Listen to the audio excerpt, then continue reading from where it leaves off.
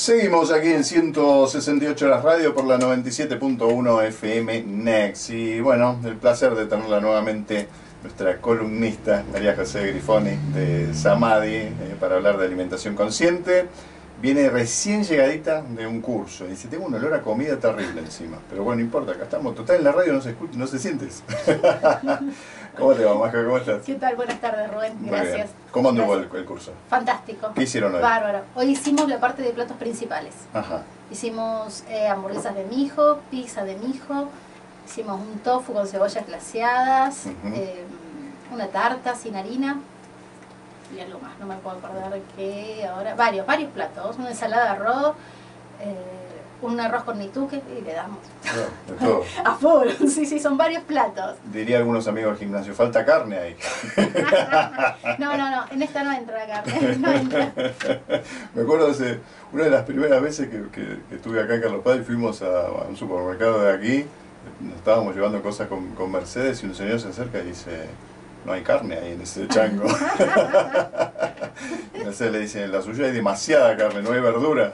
Y Mercedes que no come nada. ¿Cuánto No, hace? que- hace un montón. Hace un montón. que Sí, le- claro. Sí, Sí, sí. Así que bueno. Sí, pero es una cuestión de costumbre. ¿eh? Sí, más vale. No, más, no más que eso. más vale. No más que eso. Es así. Bueno, Majo, ¿de qué hablamos hoy? Ni Vamos te a hablar de las grasas. Ah, Vamos a hablar de las grasas, porque Dale. el vez anterior habíamos hablado de hidrato de carbono, hablamos de proteína y hoy grasas, Grasas. que son los tres nutrientes principales. ¿no? Sí, sí. Las grasas en el reino vegetal las encontramos en las semillas. Generalmente las grasas se dividen como grasas saturadas e insaturadas. Sí. Las saturadas son las que están en, cuando a temperatura ambiente son sólidas y Mm. vienen son de origen animal. Claro. ¿no? Estamos hablando de la manteca, la grasa de vaca, grasa de cerdo, todo Ujú. eso. Que cuando se calientan se... Cuando se calientan eh, se hacen líquidas. ¿sí? Las insaturadas son las de origen vegetal, que a temperatura ambiente son líquidas, son los aceites, Ujú. los que conocemos normalmente con los aceites. Eh, estos vienen de las semillas. ¿sí? Todas las semillitas que nosotros, que la- hoy la gente se está enterando y viene y pregunta, Claro, ¿sí? son grasas. ¿sí? Ujú. Por eso se, hay que consumirla muy poquito. claro. ¿Qué pasa? La grasa es muy calórica. La grasa, por eh, un gramo de grasa, te aporta 9 calorías. Ujú. Yo estoy nombrando grasas, ¿no?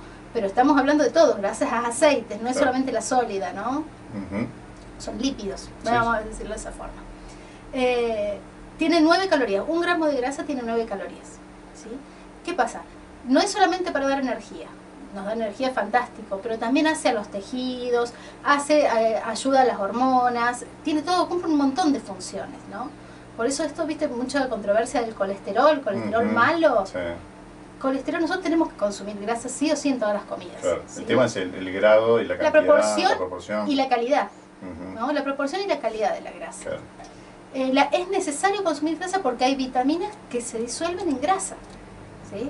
Hay vitaminas que son liposolubles que se disuelven en grasa.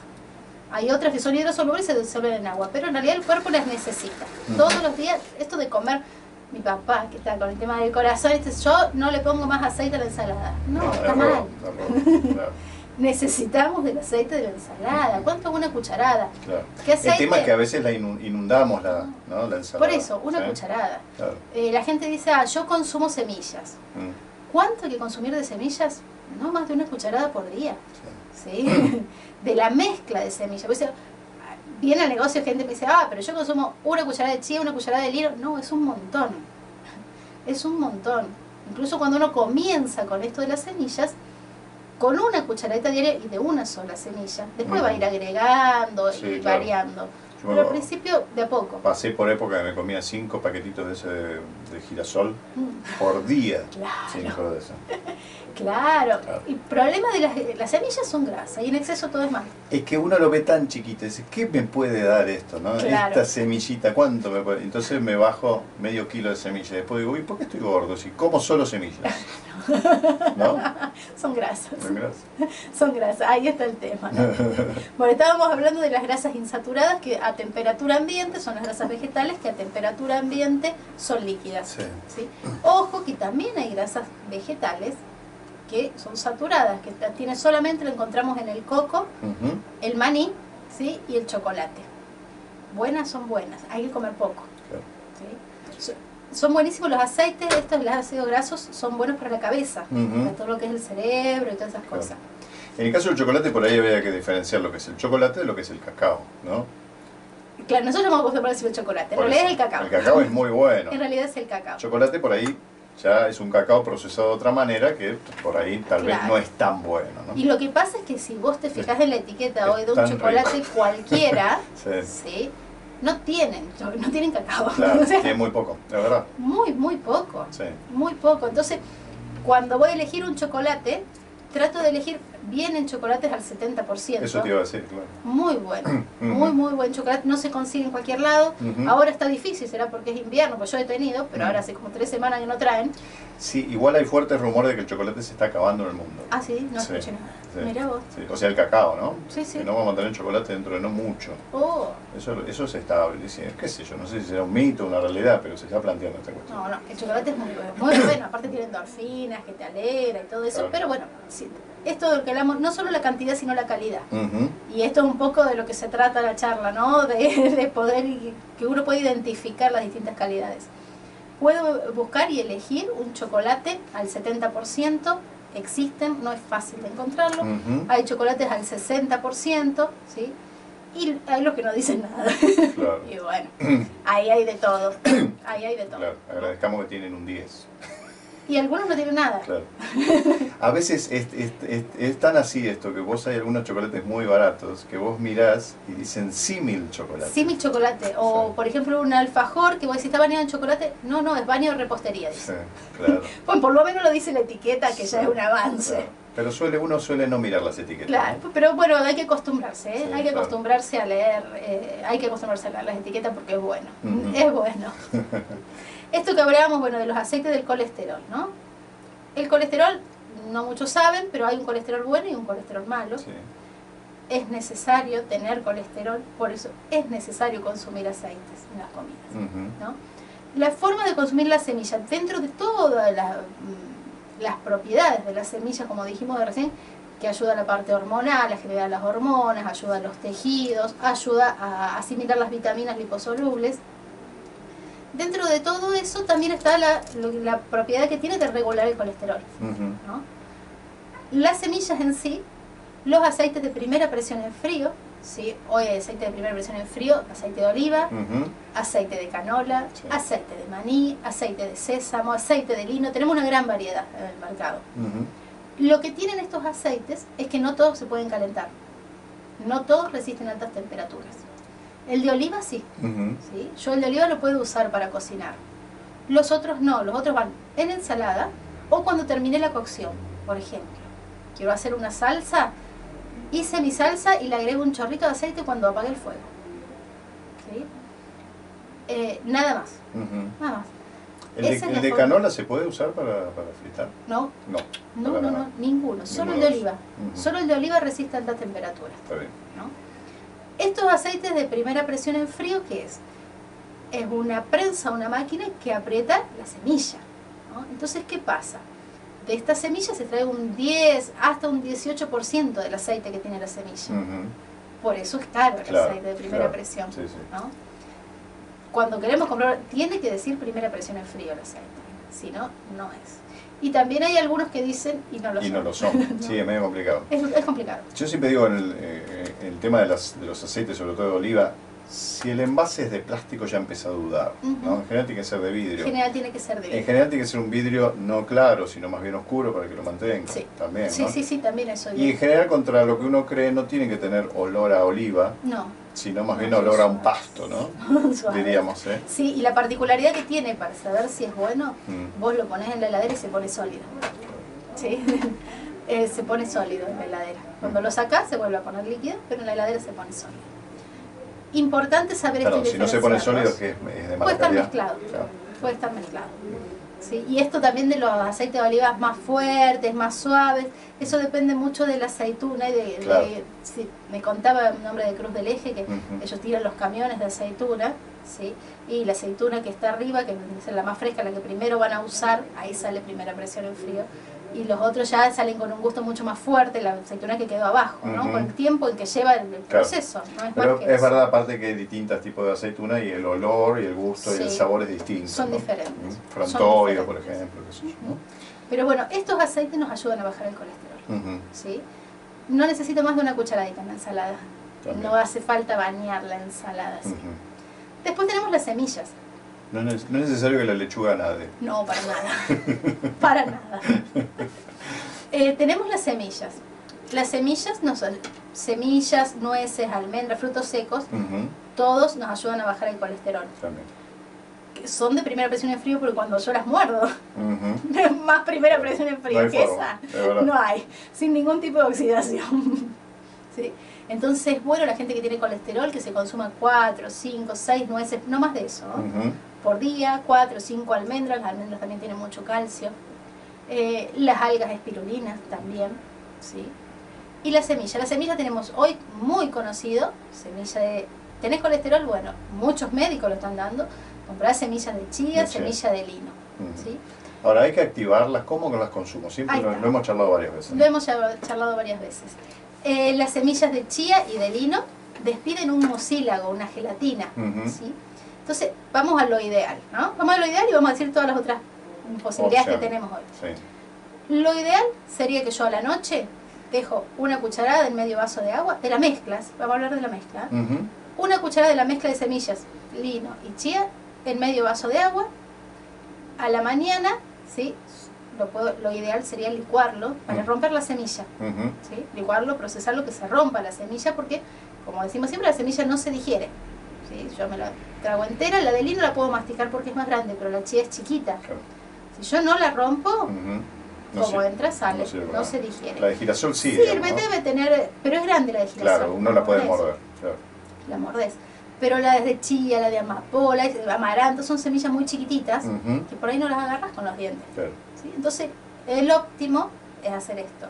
Dejarla en agua toda la noche, a la mañana la licúo, la proceso, como sea para poder romperla de alguna forma, Ujú, y me tomo el agua con la semilla con todo. Está bien. ¿no? Mucha gente hace una cucharada a la mañana y una cucharada a la noche, sobre todo porque eh, tienen ácidos grasos buenos para la cabeza. Ujú. ¿no? Eso es importante también, más allá de esto del colesterol. La nuez es muy buena para el cerebro. La nuez es muy buena, de hecho por la forma. Tiene forma ¿no? de cerebro. De hecho por la de forma. ¿Qué otras formas de consumir estas semillas tengo? A ver, eh, hay gente que me dice, y yo se la agrego a la ensalada. Para la semilla para el colesterol agregada a la ensalada y algo te puede hacer, pero necesita estar activada. claro.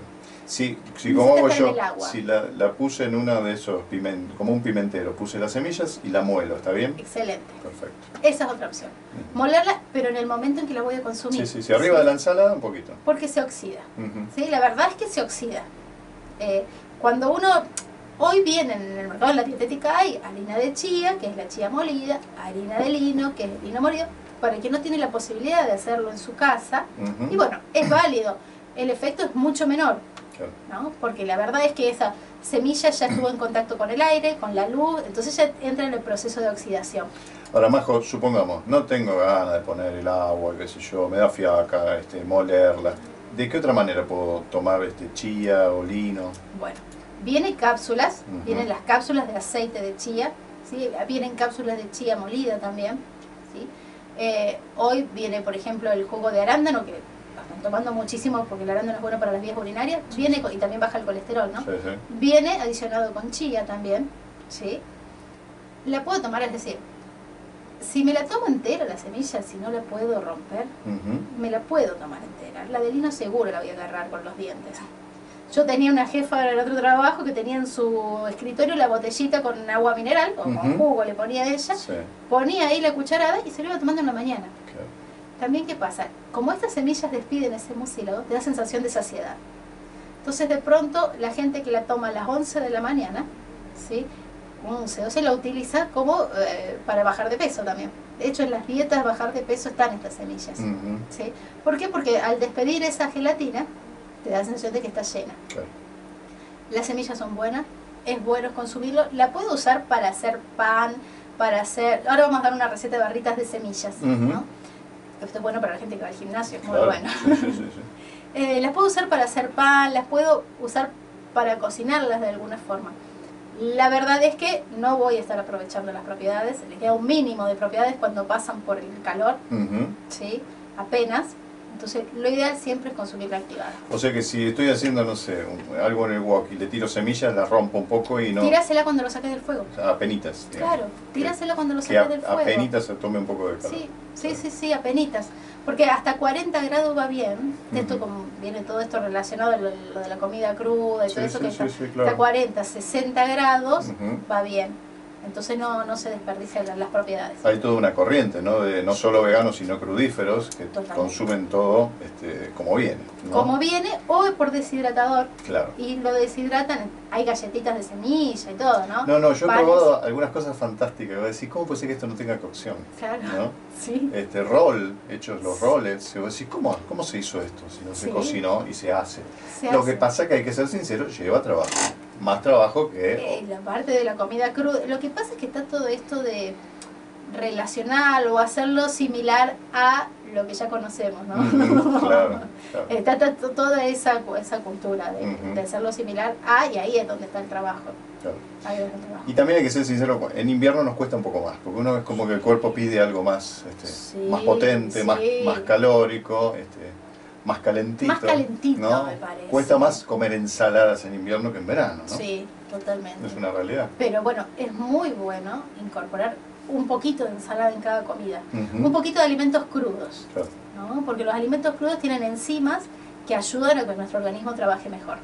Entonces, es, lo ideal sería que en cada comida principal exista una ensalada. Claro. Y como siempre decimos en este programa, tratar de consumir siete colores distintos por día Sí, como mínimo, ¿no? sí, Como si consumimos mejor. claro. No, acabamos de hacer un nituque con ¿Qué arroz es yamaní. Ah. Es una forma de cocción que ya vamos a enseñar, Ajá. que se cocina como al vapor pero sin agua. O sea, lo único que haces es pincelas con aceite, pones las verduras Sí. y hemos puesto calabacín, zapallito, pimiento rojo, eh, brócoli, todo esto, entonces queda un plato espectacular, multicolor, ¿sí? Mezclado con yamani, lo habíamos hecho después. Ya le vamos a traer la receta un día.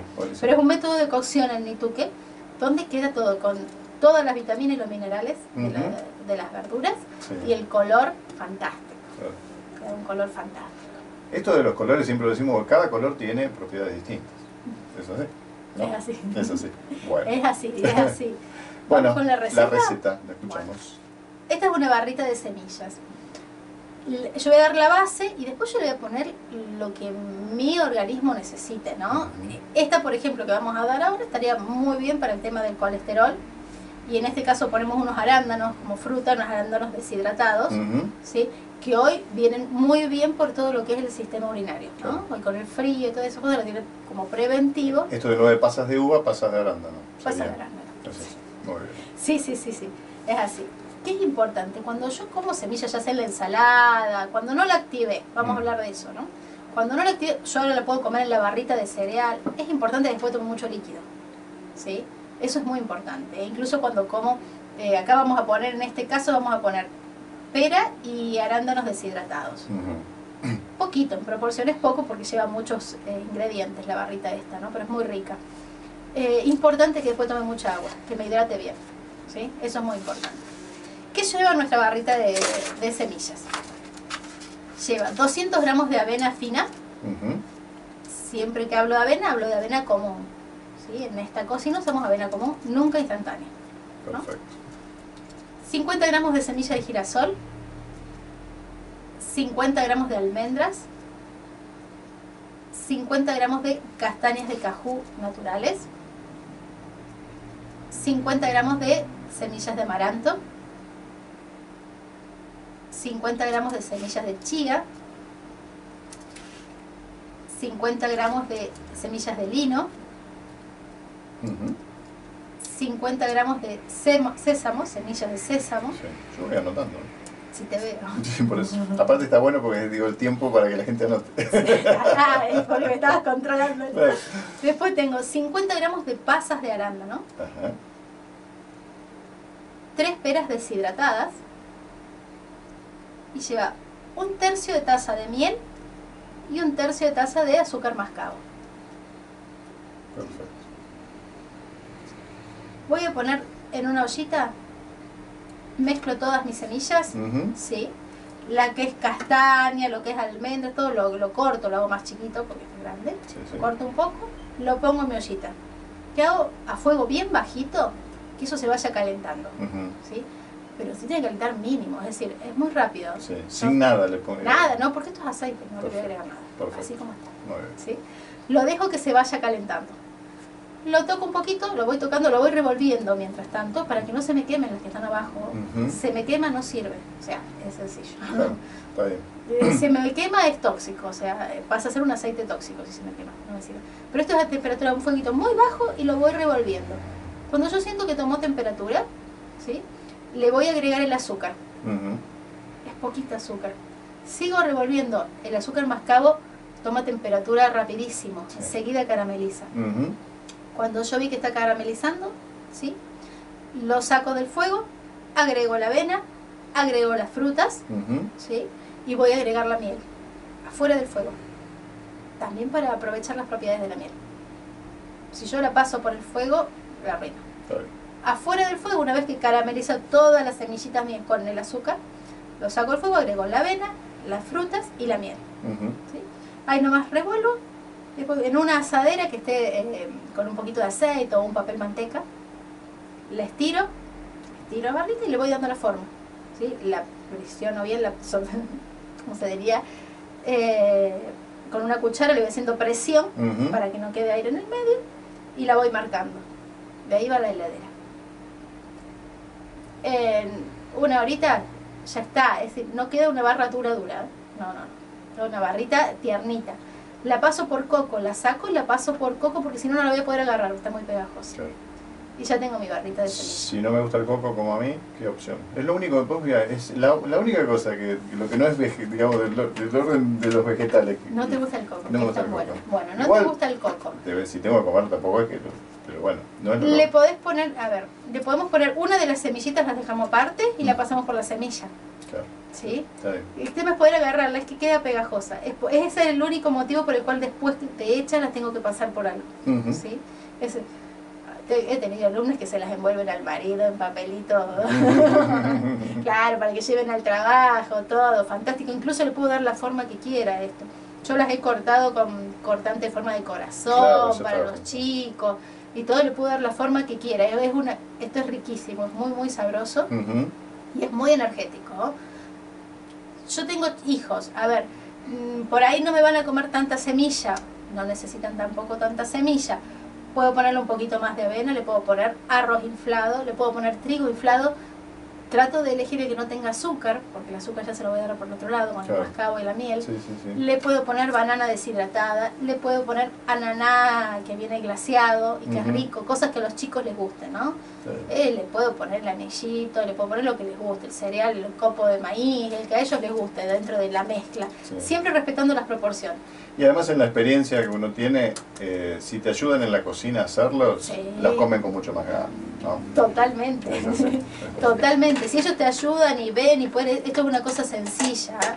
que tienen que mezclar, o sea, no van a poder estar al fuego Ujú. de la edad, pero bueno, cuando se saca el fuego y ellos pueden ayudarnos a mezclar los ingredientes, a ponerlos y todo, y van picando y van viendo los sabores y eso, así que está muy bueno, Está muy bien. es bueno. Bueno, Majo, siempre es un placer charlar contigo. ¿eh?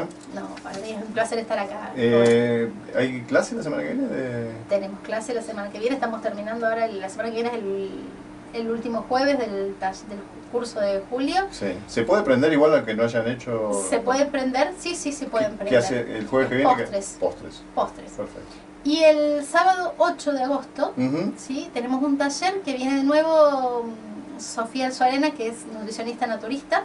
¿sí? que va a tratar enfermedades por medio del alimento y va a tratar en esta ocasión hígado graso, eh, va a tratar colesterol, eh, déjame pensar cálculos en la vesícula y todo, por medio del alimento. Le hacemos un taller de 3 horas, de Ujú. 3 a 6 de la tarde. Perfecto. Se tienen que anotar antes y bueno, ella va a hablar de esto y yo voy a hacer algunos platos relacionados a esto, ¿no?